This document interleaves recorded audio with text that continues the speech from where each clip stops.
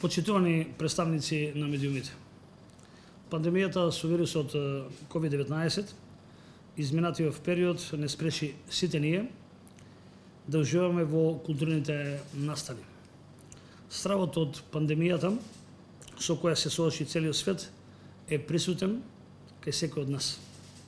Токму затоа, ова година решивме да понудиме еден нов концепт за културното лето. Концепт кој ќе ги врати на смевките кај луѓето. На момент да заборавиме на проблемите, на стравот и да се расположиме. Општина Газибава, во соработка со театрот Провокација, го започнува проектот Фестивал на Балканската независка сцена. Провокација. Нудиме одлична програма, преку 6 добри театарски комедии, во кои можете да уживате. Фестивалот започнува во петок, 27 август и ќе трае до 1 септември. Ќе се одржува во паркот Шумата Газивава, на просторот кај црквата Сретение Господово во населба Железара. Ова година на овој фестивал учествуваат познати актерски имиња и театри од Босна и Херцеговина, Србија, Бугарија, Хрватска и Македонија. Сите 6 дена представите започнуваат во 20 часот, а влезот ќе биде слободен. Целиот настан ќе биде организиран согласно протоколите за заштита на граѓаните. Ги очекуваме сите граѓани од општина Газибава, но и од градот Скопје да дојдат на овој фестивал. Нудиме многу смеја и добро расположение.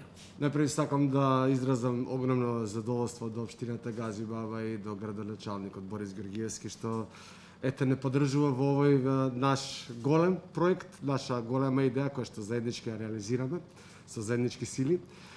А, ова е прв фестивал од ваков тип во кој што учествуваат а, независни те, театри, а, фестивал на независната театарска сцена.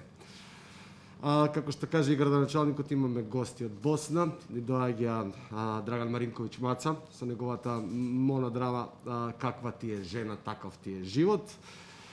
А, следниот ден на 28 ни доаѓаат гостите од Белград. А, тоа е театарот Позориште Призор, всушност, со представата Секс Бомб.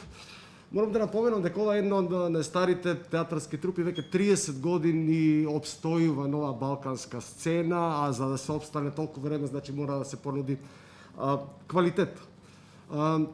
Раде Вукотич е директорот и режисерот на овие представи и тој секогаш во неговите представи има звезди. Од тој тип е и звездата која што ни доаѓа сега на 28 тој е Ѓорѓе Давид, кој што го знаат сите од екраните и овде во Македонија.